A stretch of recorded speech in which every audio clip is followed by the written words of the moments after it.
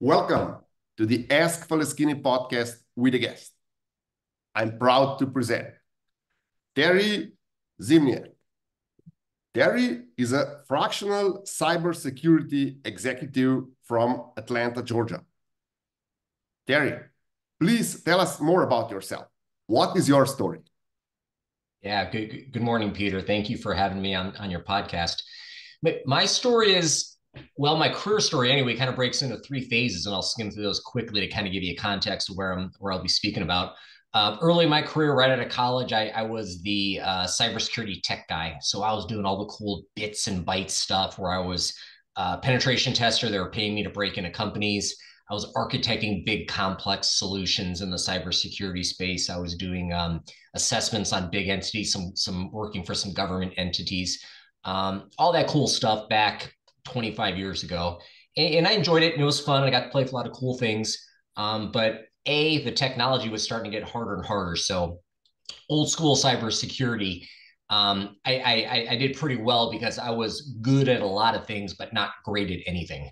But early 2000s, the technology started growing very quickly. So you think wireless and Bluetooth and uh, all the things that were changing the clouds and the virtualizations.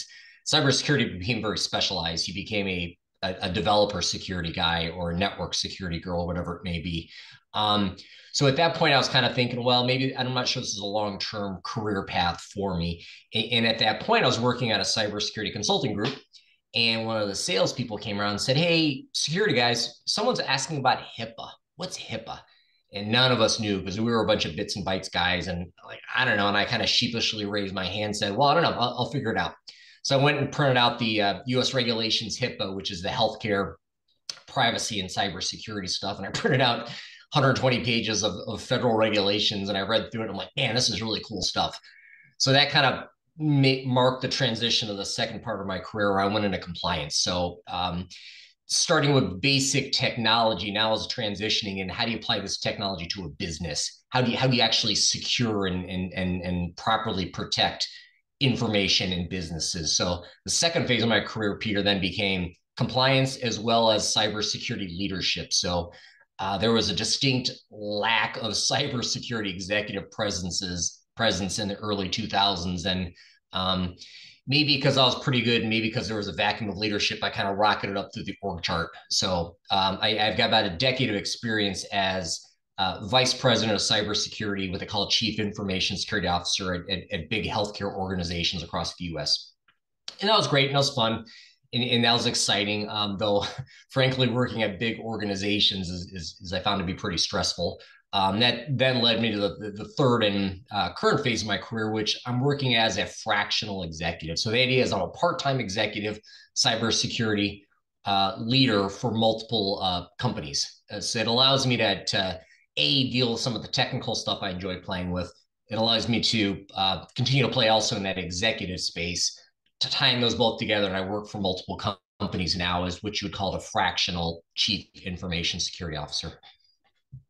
Wow, amazing uh, career and a huge. Um, you, you had to do a really huge uh, turnaround or or or, or uh, switch because uh, technical uh, expertise is one thing, but then compliance is a whole new space.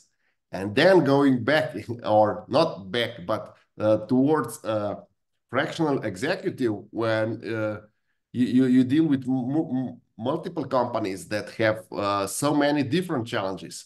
That that is another universe of, of its own. what I would like to ask for my listeners and viewers is, can you describe what um, average, uh, let's say, business owner or employee needs to know about cybersecurity, and it's not the public knowledge. So far, we just know that we have to have a complex passwords and that we have to change them regularly. Uh, that is uh, public knowledge. Is there any uh, hands-on trick that uh, you can share with us regarding how to improve our cybersecurity, how to go about it? Uh, is there a mindset we have to assume in order to uh, act in a way that uh, will not uh, put us in danger? Yeah, I, I, I like the way you phrase the end of that, Peter. It's it's the mindset, and I'll kind of walk through maybe two different perspectives. There's the mindset of the business leader, and then there's a mindset of the individual. So you know, it's you, it's your mom, your dad. As an individual or as an employee, you got to be diligent and basically, you've got to follow the rules that your technology lays out for you. So you know your bank requires multi-factor authentication. Multi-factor being I've got a name, I've got a password, maybe it calls me on my phone. That's one way to do multi-factor. You know that you shouldn't use the same password at seven different websites. You know you should have a, uh, a lock on your phone. So as an end user, really the key thing is you know understand the expectations and follow the expectations. That's really what you need to do to protect yourself as, as an end user or maybe as an employee.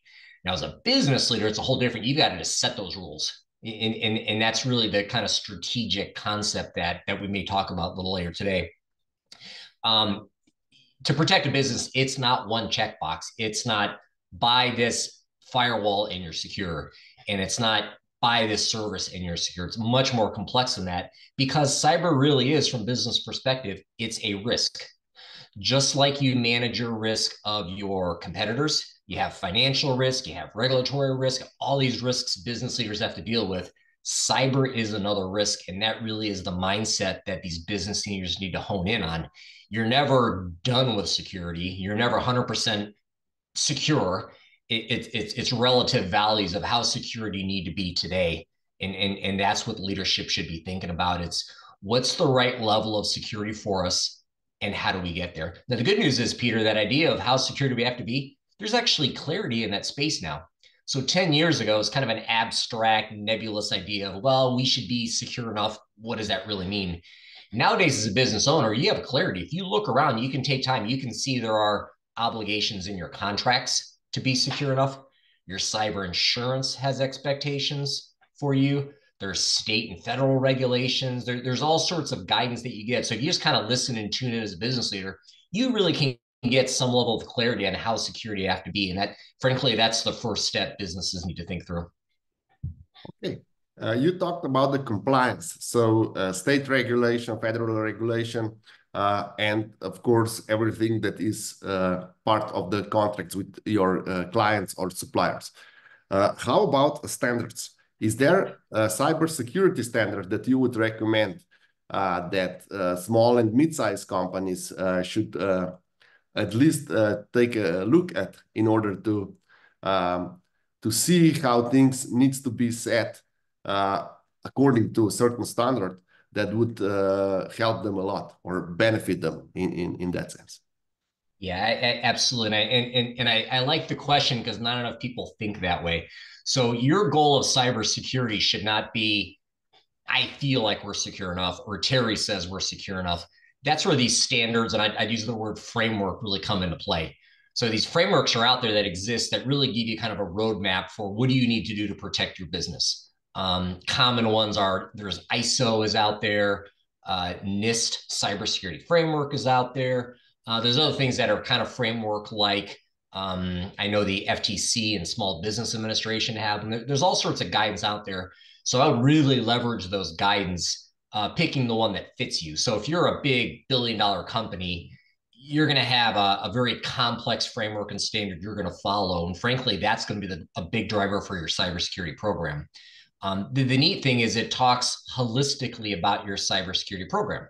So it'll say your framework will talk about do you know where all your stuff's at? Do you have the contracts in place? Do you have the protections in place? Can you detect bad activity? Can you respond to bad activity?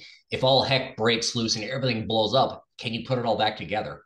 So the, the, the value of the framework and these standards is it helps you think through broadly what you need to do.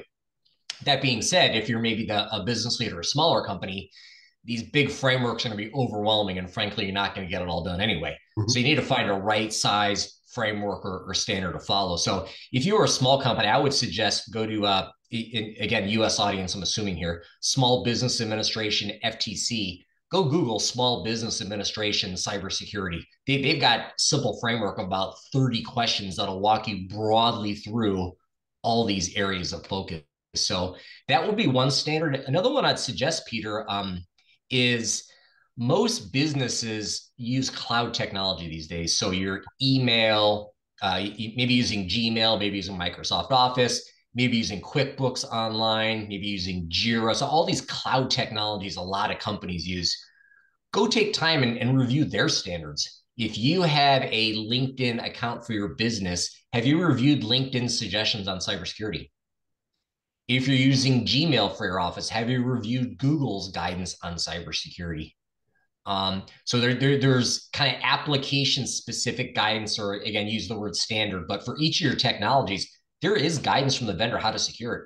Go spend two hours a year going through it, just reviewing, you know, is your Twitter properly locked down? Is your Outlook properly locked down? All those sorts of things. So uh, a lot there, but I, I would suggest there is guidance out there if you find the right stuff. Okay. Uh, one uh, important question, or uh, I, I, think that it's relevant.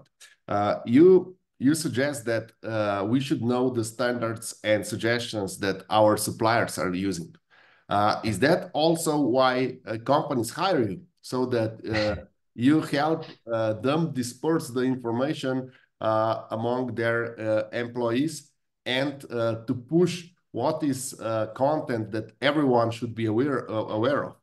Is, is that part of uh, what you do? Well, it's interesting that that's been a big driver, frankly, of my business. So when I started doing this independent security executive stuff about eight years ago, the big drivers are really two scenarios, Peter. It's one is, hey, we've just been hacked. We got a we, we got a fire we have to deal with.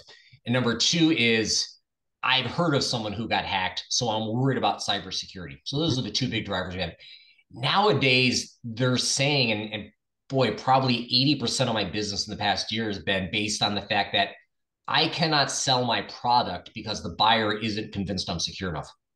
Okay. So when you sell to a hospital, to the bank, to the government, to the military, even to individuals, there's expectations in cybersecurity that the buyer, that the prospect has. That needs to go into consideration when we think back to that phrase, Peter, of secure enough you know, what's right, right level of security for your business, that needs to play into it. So yeah, translating those expectations from your prospects and clients into your cyber program, that's critical because nowadays the big driver, especially for small, small, mid-sized businesses, is you got to be secure enough to sell. And, and if your buyers aren't convinced you, you you can you're secure enough, they they won't buy. And you know, there's contracts are being lost because that that that conversation is, is, isn't happening. Okay, another hot topic is AI and cybersecurity. Um, the most common uh, points of views are two. One is that uh, modern tools utilizing AI help uh, hackers and crackers uh, uh, crack our uh, security faster and more efficiently because they are able to learn on the job and do multiple tries and uh, apart from uh, DDoS attacks uh, and similar, uh, they can do a lot, a lot smarter things uh, just because they have so many info from all the forums and uh, all the reports about previous attacks. And they also know all the versions of um, our software and our apps and all the shortcomings of, of these apps that we are using. And another thing, can uh, AI that we are using internally um, weakens cyber, uh, our cybersecurity uh, because it gets data from the internet? Uh, the answer to both is yes. It, it, it's yes. So from the attacker perspective, uh, actually from the defender perspective as well, AI is making both parties better and more efficient. So the bad guys are using AI um, the big thing we're seeing these days is using artificial intelligence to create better social engineering attacks. So social engineering is the old school. Hey, Peter, this is an email from your partner. Um, can you please change my bank routing information for the next invoice? Those emails that come in that try to trick you into doing something or clicking on something, those are getting better and better and better. And our tools to detect those are getting worse because the, the emails are better crafted. So yes, the bad guys are using artificial intelligence to be more efficient, uh, efficient at what they do. Conversely, the protectors, the defenders, are using AI as well. uh, from the technical side, AI is baked in a lot of the cybersecurity tools that that that the engineers use these days. So the ability to detect, to respond quicker, to better see chains of attacks. Uh, uh it's it's it's a tool being used by both sides of this war, frankly, uh, making both sides better and more efficient. But it, it's an arms race, like it's always been. Um, and then maybe the second part of your question, Peter, you talked about the use of AI. So if you're a business owner, you've got your your staff's using AI. That's great. AI is a fantastic tool if used correctly. little caveat there: if used correctly, it can certainly add a lot of value to your business. But what it means is that your business is now using data in a different way. So in the old days, maybe you had spreadsheets and databases and cloud stuff, and you knew where your data is, and you knew you knew you had to protect your spreadsheets and your databases and clouds now your data is starting to flow all over the place. So if Peter takes some kind of report, drops it in chat GPT and says, give me a summary, your data's gone. So effectively the risk for businesses with AI is that there's new data flows going.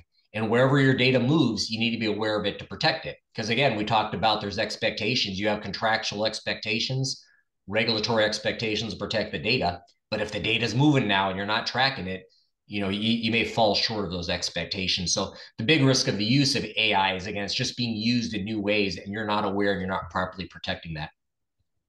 Okay. And now I will ask you uh, the least desirable question. and, and, this is uh, what what would be the just that's uh, uh, through through the thumb it's it's not important that is is really precise but uh, what would be your recommendation for a small and mid-size uh, company? How much of their turnover uh, should be budgeted for their cybersecurity?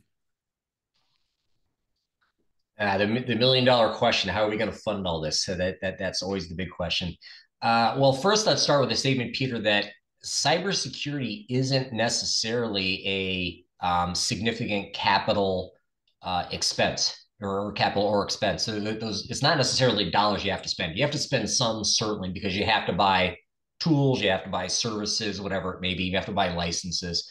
A lot of cybersecurity, though, the proper protections are not technology based, but they're people based and they're process based. So we talk cybersecurity protections. Again, the guidance is technology, people, process, technology. Those together are the proper way to secure your business. Um, on the process side, there are not a lot of costs. So you think about the one of the most common cyber attacks out there is uh, what they call business email compromise, and that's that's what I described before, Peter, where Peter gets an email, someone pretending to be your partner. Hey, can you please change this bank routing information? You change it, and then the next invoice flies off to some bad guy in Russia. That's business email compromise. Technology is is not the primary way to stop that. The proper way to stop that is training Peter, reminding Peter we have processes in place. You can't just change bank routing information based on a single email. Okay. Mm-hmm. So I, I give you that story to remind you that this cybersecurity isn't necessarily just buying stuff. It's not buying technology. It's not buying services. You gotta you gotta kind of support and protect the business and other means. So back to the million dollar question: How much do you spend? There really is not a set number. Um, when I was at big organizations, it'd be three, four, five percent of IT budget. Um, so I'm not sure exactly how that relates to small businesses. The other problem is some of these spends are not necessarily IT spends. So in the old days, you'd have budget for the company, then you'd have budget for IT, and a subset of that became budget for security. But when you talk about things like changing how we do our contract reviews, contracts is a big part of cybersecurity days because it's shifting the liability around. Is that an IT expense? Um, HR processes that have to change to support cybersecurity. Is that an expense? Who pays for business resiliency planning? Is that a business expense or an IT expense? So, anyway, the, the idea being that these protections and costs may be distributed through your company, but old rule of thumb was was five percent. Mm-hmm. Okay, that that's a great insight. Is there any hands-on advice you can give to our uh, listeners and viewers uh, regarding cybersecurity. What is the first step they should uh, start thinking about uh, when uh, they would like to improve their cybersecurity? Sure. I, I I tell you that the biggest problem I see with all my mid-sized clients, I always start off, it's it's that they lack proper inventory. You know, do you know what your stuff is? And the stuff could be people. Most companies, you know, they think they do, but they don't have a good uh, tracking even of their people. Employees, yes, ideally. Contractors, vendors, guests, app users, those are all people. Do you really know who your people are and can you track them? Your contracts, do you have your contracts in place? Do you know who your vendors are and, and, and, and your clients managing contracts? Uh, technology, data, so the starting point for pretty much everyone, especially if you're behind the ball, is inventory your stuff. Make sure you know what you have. You can't properly deploy encryption unless you know all your technology and your data. You can't deploy um, business resiliency plans unless you know your processes and your contracts. You can't properly educate unless you know all your people. So, you know, the starting point for everyone, frankly, is, is inventory your stuff. Figure out what you have and then from there you can move forward. Okay. Is there any other uh, tips or um, let's say something that was recently in the news that you can present as, as, as a risk uh, or a cybersecurity risk that our listeners should be aware of? Yeah, you know, um, as, as, a business owner, is interesting um there's, there's, every week there's a new story pops up in the cyber so there, there's a lot that we could talk about. But you know one that maybe impacts businesses that people don't think much about is uh, early 2024 there was behind the scenes a very large healthcare cybersecurity incident involving change healthcare. So basically change healthcare facilitates a lot of the payments and and the the, the execution of um of, of pharmaceutical services okay? Mm-hmm. This was a the change health was used by a lot of pharmacies and, and hospitals and tied to the insurance organizations. Change health went offline and it significantly impacted all of these big big players so um, you know if you wanted to go to cvs to get your pharmacy your your prescription filled you had problems um, a lot of small healthcare providers had a lot of financial constraints because they weren't properly being paid by Change Health. Um, I, I, I gave you that story to help business owners think about the fact that no business is an island anymore. You most likely outsource your email technology. You outsource your payroll services. You may outsource, uh, I don't know, your financial services, your marketing services, um, your HR, everything, everything gets outsourced these days. So more than likely than not, you've got some critical processes that your business depends on. That's not part of your business. What happens if that goes offline? So if your payroll service goes offline for two weeks, what does it mean for your business? Um, if you if your HR system is offline and you can't onboard, what does that mean for your business? Uh, collections, email. Um, think about, and here's the practical tip think about where you fit in the ecosystem. Who are your partners? Who are your critical vendors? And what would happen if they go offline? And, and, and the, the ask is not how do you make sure they don't go offline? Because it's very unlikely Google's going to go offline. But if they're out of service for eight hours, what are you going to do? You know, if, if your critical provider of financial services offline for two days, what are you going to do? Um, so ask those questions, consider who you depend upon, and just have a five minute conversation with your leadership team. What does it mean for our business if our critical providers offline? It's happening a lot. A lot of people are getting bumped offline. It's impacting businesses. Are you implying that we need to have uh, worst case scenario and also uh, damage control uh, scenario in place? Absolutely. A, a recent uh, buzz phrase that's that, that's been brewing in industry, Peter, is called business resiliency. Mm-hmm. And business resiliency is kind of that worst case scenario.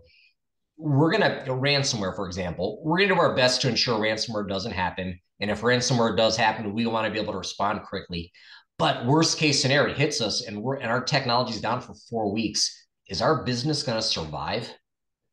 And, and those are the kind of questions you have, have to ask. That's business resiliency. How does the business survive? Again, you want to make the bad things as um, you know least likely as possible but if you get hit with ransomware if your payroll provider goes offline if there's a fire at your office how does your business survive? So, spending a few hours a year on that sort of exercise of how do we survive in these worst case scenarios.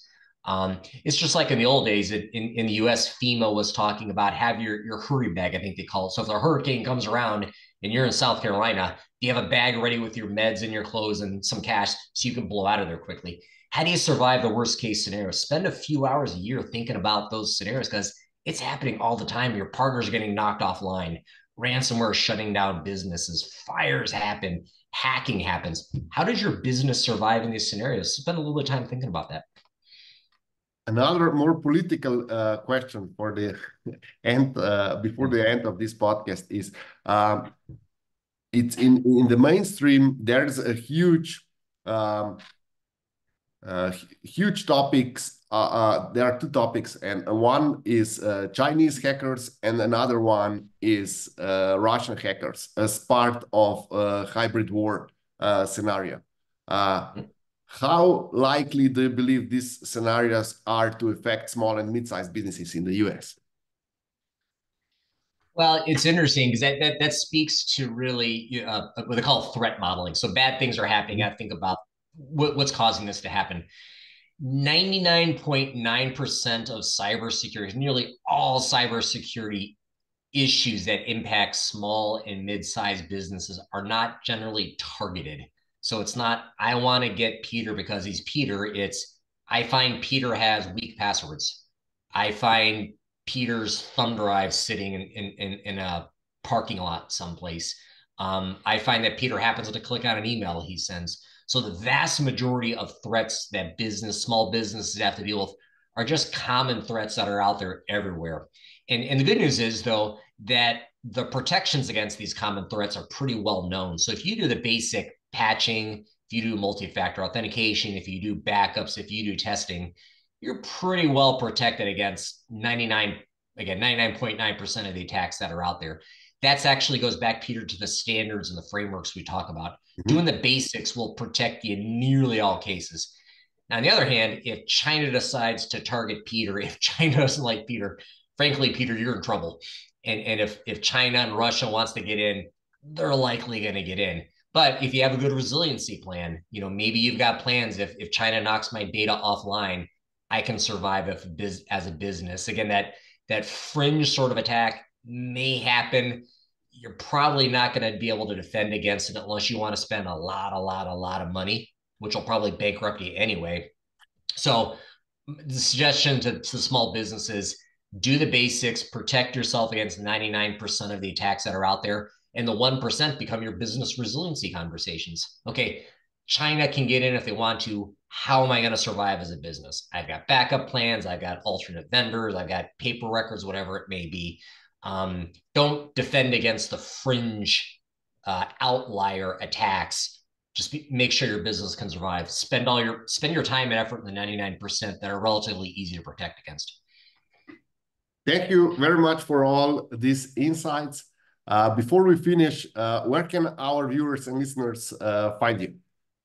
Yeah, yeah. Thank you, Peter. It's been a pleasure talking. Uh, I, I, work with a company called Tech CXO out of Atlanta, Georgia and, and we're a collection of fractional executives. I happen to be in the cybersecurity space. So if you're interested in reaching me, go to techcxo.com.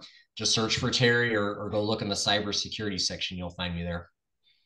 Uh, thank you for all the insights again. And thank you for being my guest tonight. All right. Thank you, Peter.